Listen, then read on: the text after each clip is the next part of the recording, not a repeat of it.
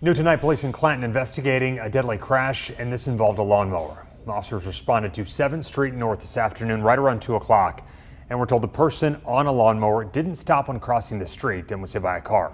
The name of the victim has not been released.